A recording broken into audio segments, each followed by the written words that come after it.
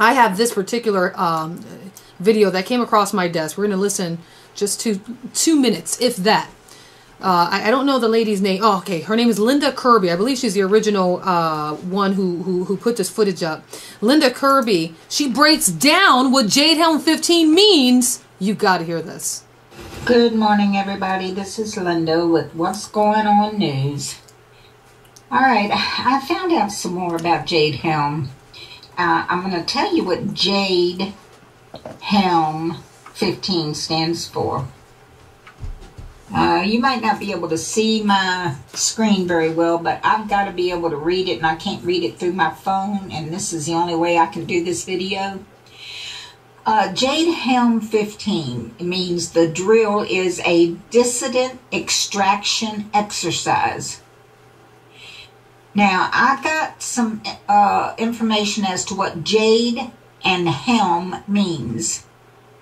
Jade is Joint Assistant for Development and Execution. Wow. Helm means Homeland Eradication of Local Militants. What? Okay, what? Homeland Eradication of Local Militants?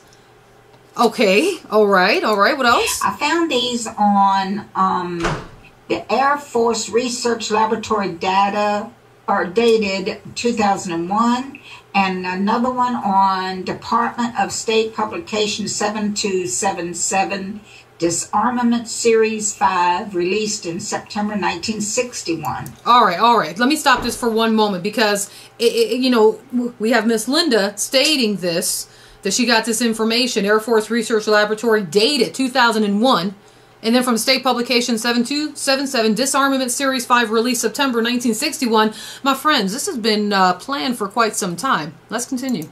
Office of Public Services, Bureau of Public Affairs. Now, let me tell you what they, this means. Um, no, for the sake Jade, of time, you know what I'm going to do? I'm going to I'm going to place this on our Facebook page for the sake of time. Uh, and you guys could listen to it. It's, it's about 19 minutes long. We're not going to go into the whole 19 minutes for the sake of time, but we will post it on our Facebook page and invite you to tune in uh, to get additional information. It's very intriguing, but I just want to I want to rewind here just for a moment, just to reiterate what she said about what jade means, hell means, and she actually goes into what 15 means. The year 2015 is when this is all going to go down. Action exercise.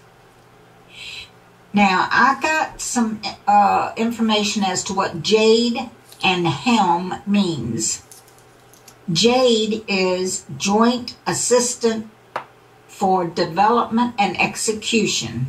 Mm. Helm means Homeland Eradication of Local Militants. All right, stop right there. She said Jade means Joint Assistant for Development and Execution. What are they developing? What are they executing? And what joint assistance are they seeking? I'm going to show you some additional footage right now where a, um, uh, I got to get the name again, Nehemiah, I believe his name is Nehemiah, he placed it on his Facebook page last week. He ran into some soldiers in a mili- um, in a Walmart over in Texas, some some military soldiers. So what's a big deal, right? Some bases over in Texas. Where these soldiers were not American soldiers, my friends. They were Turkish soldiers, sporting their full uniforms.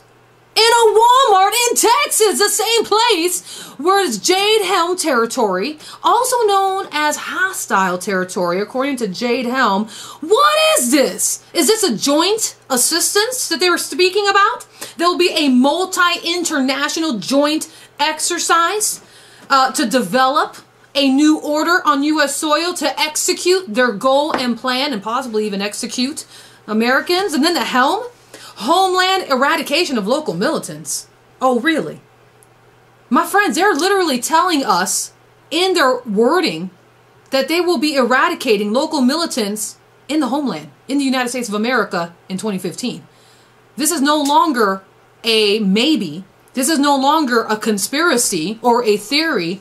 This is a plan, and they're executing it, and that's why Walmart has shut down the stores that they shut down. This is big. There's no going back.